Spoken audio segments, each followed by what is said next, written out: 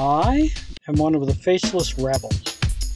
I spent years chasing my 15 minutes of fame. It never came. Now I'm old and gray, fading away. A background actor whose scenes were all cut. The creepy old guy at the end of the bar holding another losing lottery ticket.